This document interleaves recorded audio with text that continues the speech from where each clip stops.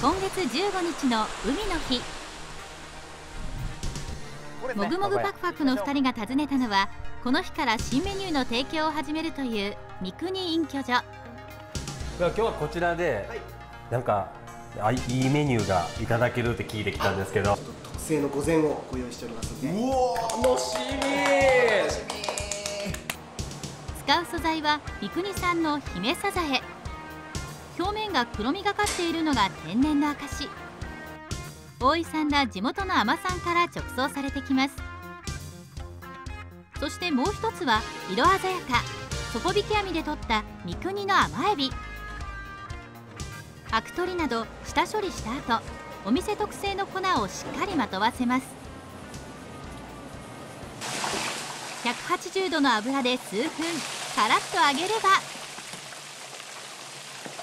待たせしました。三国産甘エビとサザエの唐揚げ御膳の完成です。すごいいただきます。身がもうプリップリでサザエのうまみがギューッと詰まっててめちゃくちゃうまいですね。なかなか珍しい食べ方なんですけど、うん。地元ではこういうふうに食べる海女さんとかがこういうふうにへえ続いては甘エビをいただきます甘い。唐揚げにしてはい。甘みさらに増してる感じします、そうですね。うまいね本当ね。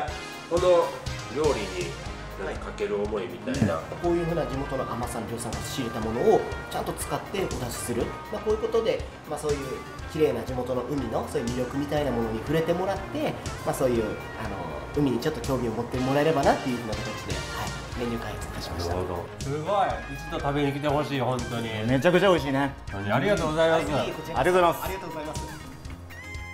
このメニューの収益の一部は三国の海の沿岸清掃などの費用に充てられます美味しく食べて綺麗な海を守りましょ